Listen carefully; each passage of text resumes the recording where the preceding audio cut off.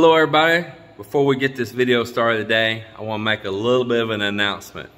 And this is going to be something I'm asking as a favor from me to you all. Uh, in the past here, we have really invited for people to come visit us and see us here at our home and all. And we still enjoy company and we still want our subscribers that want to see our home and visit with us to still be able to do that. But we're going to ask you to don't show up in our neighborhood and roaming through here and stopping in front of our house, taking pictures and stuff um, without making advance plans with us. So yesterday on a Sunday, we had a community meeting here. They came to my door, they were knocking at my door, James, we need you now. I had no advance warning. And we had like uh, a community meeting of all the houses in here, everyone living here. And they wanted to address some issues. And so uh, I thought, man, this is like a surprise because there's no advance notice. And Mel and I, we got on up there, we met up with everyone, and it was really good. They were wanting to form our HOA here. Now, the reason that we have not yet formed a HOA is because there wasn't that many of us living in here and we were hoping like more houses would get built in here. Been a difficult situation just for us yet to get the HOA going. But because of security issues and people coming in the subdivision that don't belong in the subdivision and kids and stuff coming in running around and strange vehicles and all, um, it was time that we do something. So we are putting guards on the gates and we're going to put in surveillance system throughout our subdivision here. We're gonna put up solar street lights throughout our subdivision here. We're gonna build a new rear gate going to the beach. And while they were there, they wanted to vote for a president and to get this started. And all of a sudden, uh, everyone nominated me and it was unanimous and I am now the HOA, the subdivision president here. And I mean, it wasn't even nothing like, I, I didn't even say like, yeah, I want to be it. You know, I didn't even ever say that. They just all, him, he's the one. And I really appreciate my neighbors for that. I appreciate my community for that. And that even me here as a foreigner, an expat, live in this community, that they trust me and they embrace me that much without hesitation to let me be the one to head this up.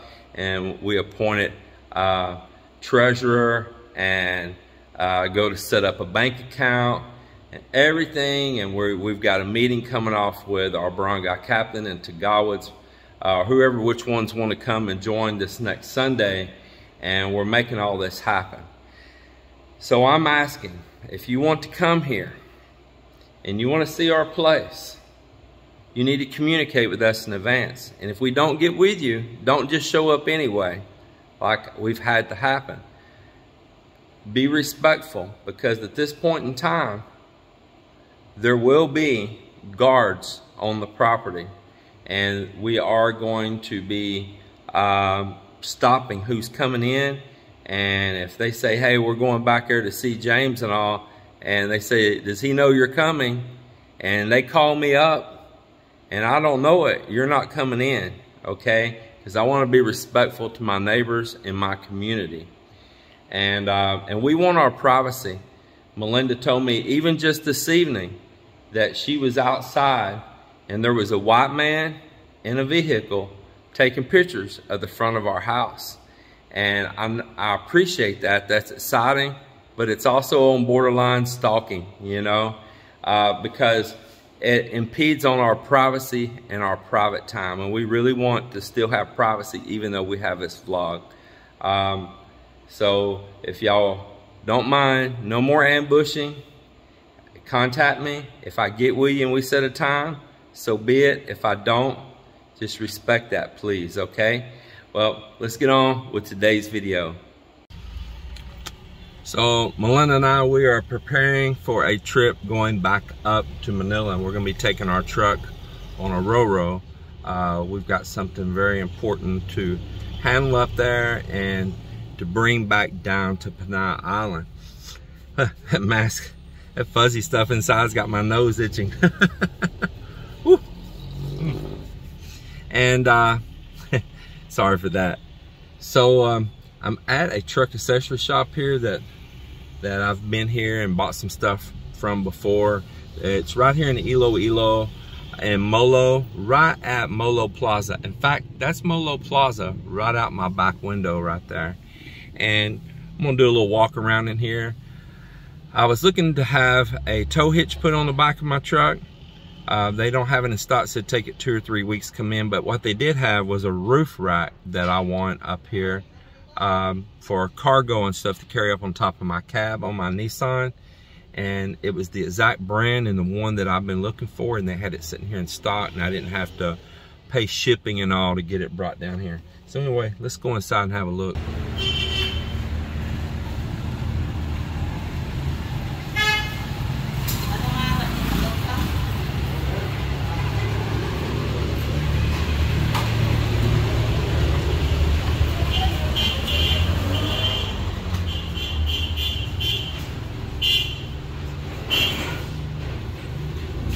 This is definitely a boys shop right here. The boys toys. Look at that rollover bars and all right there. Yeah, boy toys.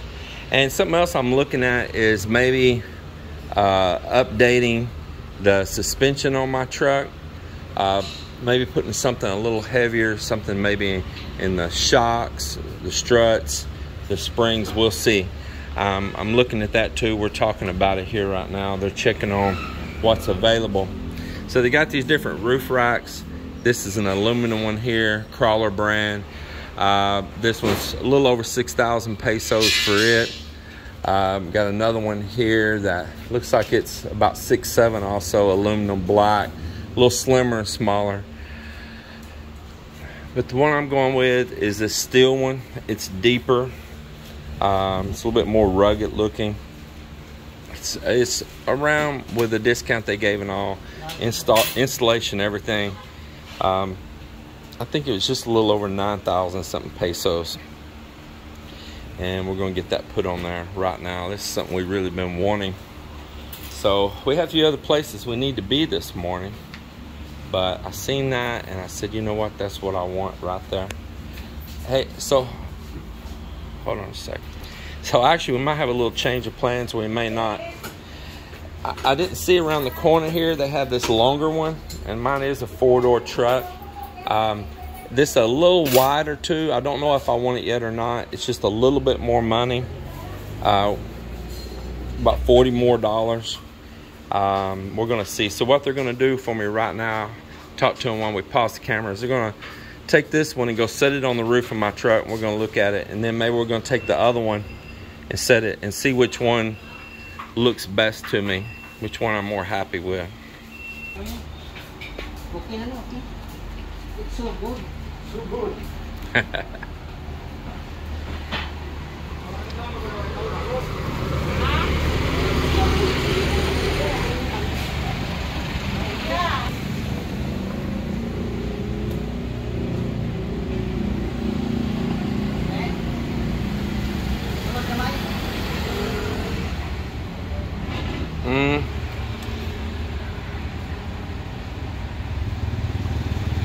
I don't know. I might want that bigger one.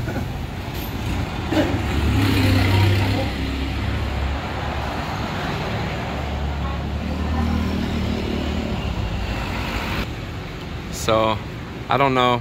I mean, that one, it's okay, but I still want to see that larger one.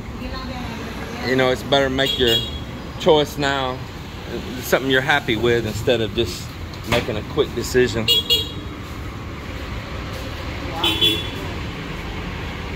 You want to know the name of this place if you're around this area.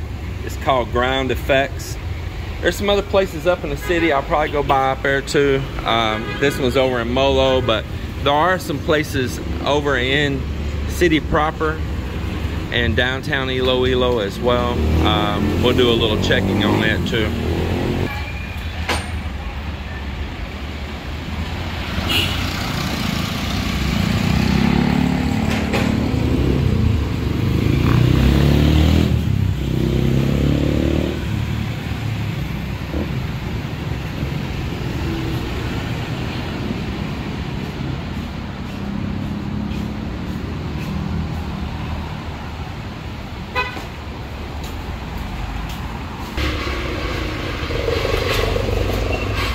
This was quite a bit bigger.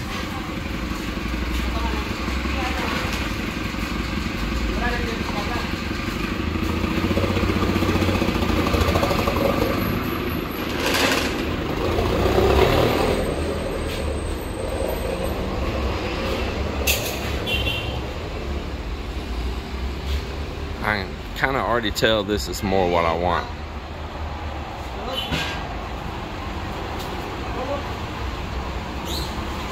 Yeah, I can tell you this is more what I want right here.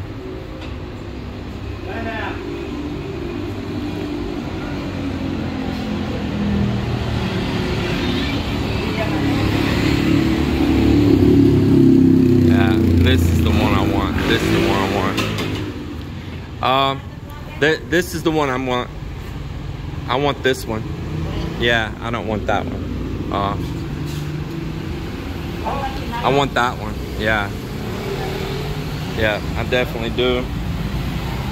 And it fits right with my with my antenna here on the back. It clears my antenna.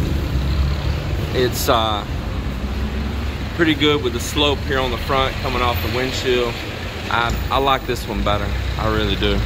But it's a 4x4 truck. Mel and I when we do get out and travel, we do go to some off-road places, and uh, we're wanting to put some all-terrain type tires on there.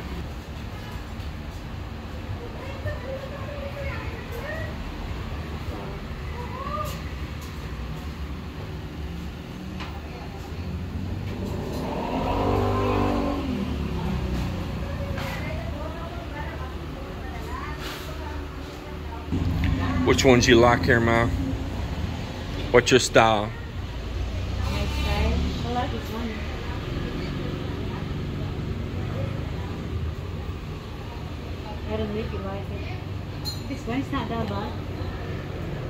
Those are all the very large size rims. Um, our truck is not really set up with that.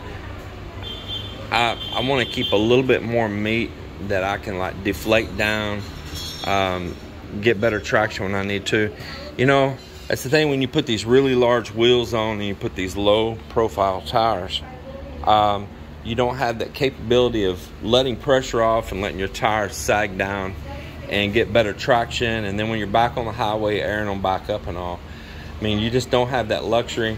If you're going to truly be driving it off road, you want to still stick with not having a great big rim inside of there and and having a little bit taller of a sidewall.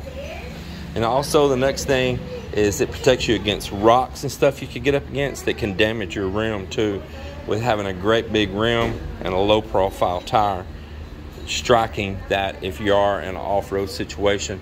Definitely having a higher sidewall will once again protect you from a lot of those type things. Yeah for me this is just all show and no go right here. Changes your gear ratios uh, you start doing that, you really change the design gear ratios. You can put a lot more strain on your drivetrain, on your clutches and your transmission, everything. It's just uh, not good, especially if you're using it. If you're slow highway cruising, maybe not that big a deal. But if you're really getting out and using it, it's going to make a difference.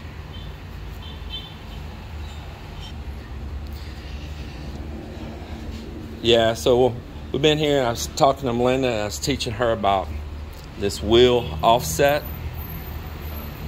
Um, like that's it's a pretty sunk in wheel factory on the trucks. You know, they're keeping it tucked in, keeping it narrow, more aerodynamic and all. If you want to widen the stance up some and you don't want to put wheel spacers, I seen some wheel spacers here just a minute ago. I mean that no, that's they look similar. That's not a pair of wheel spacers because they don't have lugs on them. That's for uh, your shock. I mean your coil over springs. Where is that at? Well, I seen some here earlier. If I see them again, a wheel space was just an aluminum block that looks similar to this with lugs sticking out of it that you can bolt on where your rim goes and then you bolt your rim onto that. Now that's one way to offset out your factory rims on there. Maybe you want to upgrade your rims to a different style, a different look, and you want it to set out more beefy. Well, you can do an offset rim like this. If you was to take and lay a straight edge across here, this is sunk in, the wheel's out, to where this one over here you see is more flat, more flat, or like mine out there, more flat. So you can just go with an offset rim. And there's different levels of offsets you can get. You can get some of them that are set way in and brings the wheel way out. Now, you can do some damage to your truck if you offset them too much. Uh, you'll put a lot of stress on some parts because anytime you have a lever out and once you stick these out wider, they're, they have more of a leverage that is pulling on your joints and your parts underneath there more. So, you know, it can look good to offset a little bit, but if you do too much, you're really going to change the dynamics of your truck, how the suspension was designed, and for the parts to wear. And you'll probably cause some premature failure to some front end parts. This is not a bad offset on this rim right here. It's, it's a mild offset, not too bad at all. This would probably be a really good choice. Not a bad looking rim really either, you know. Pull their little tape off there and we'll get a better look at this rim. Just, just for an instance here, here we go. That's not a real bad looking rim there itself. We probably would not go with an aggressive mud tire. I don't want the roar going down the road and all.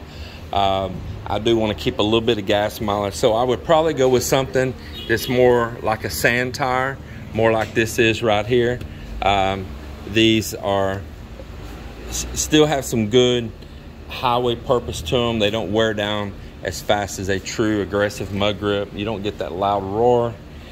And um, but you still do get some good traction and it does still spread the water out good. If you, a lot of you don't know, when you drive in water, these channels right here allow the water to shoot out the side through them while this continues to keep traction. For some of you may not know that. So how this disperses the water out is very important if you're gonna drive in a lot of wet conditions. And that's when your tread gets wore down and it gets really low, then the water has less of a channel to shoot out the sides as you're driving. And that's gonna give you a higher chance of hydroplaning and so you always want to, you know, not drive on tires that are really worn down, especially if you're going to be in wet conditions. Well, I'm here in the Philippines where it's a long rainy season here and there's a lot of roads that get standing water on them. So it's very important to keep good tread on your tires and to make sure it's a tire that can really throw that out. So what she's telling me here, we're talking about these rims, is that the Nissan Navara, basically the Nissan truck and SUV, Navara and the Terra, that even though um, it is six hole, just like the Toyota, the Ford, the Isuzu D-Max, all of them, the spacing in between is different and these won't fit. The Nissan has its own spacing separate than all the other manufacturers. So that's some good information if you're even gonna be out there trying to buy some secondhand rims on Marketplace or anything for your vehicle, beware of that. That they're even though they're both six lug and they're both Japanese make, there is a difference in spacing across there.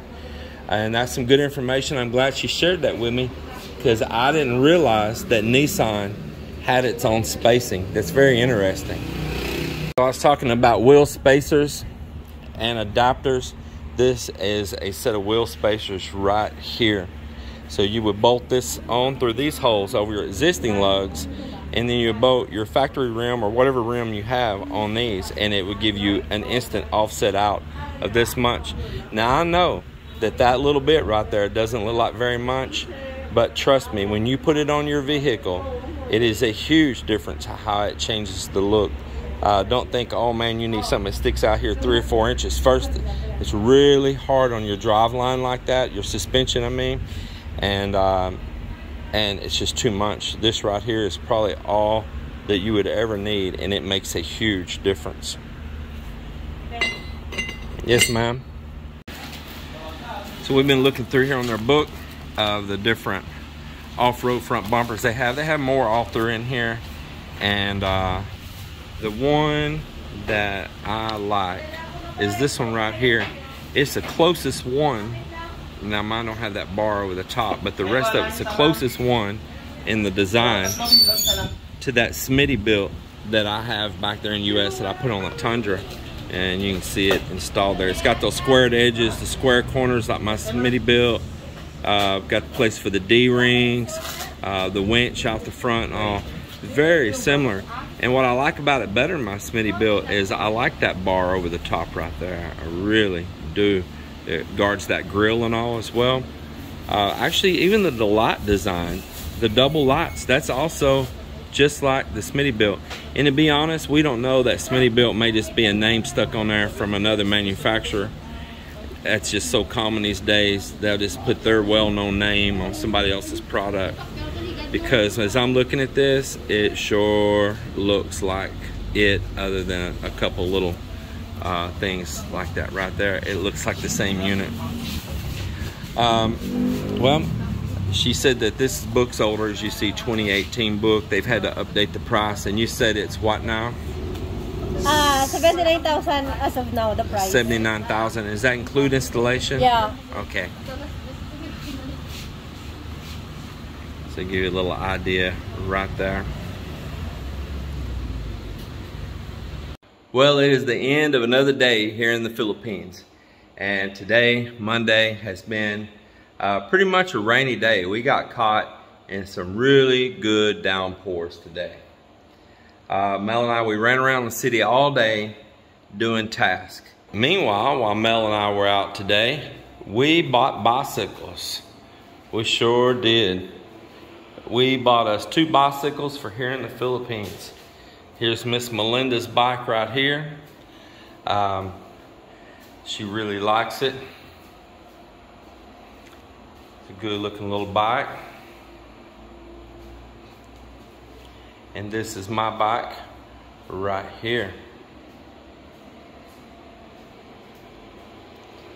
Now, we brought our accessories from our bikes from the US. So like our headlight, phone holders, our tail light, our seats that we're comfortable with, um, my air pump, all of that stuff, our helmets, of course, all of those accessories we brought with us and I'll get them on down here probably tomorrow.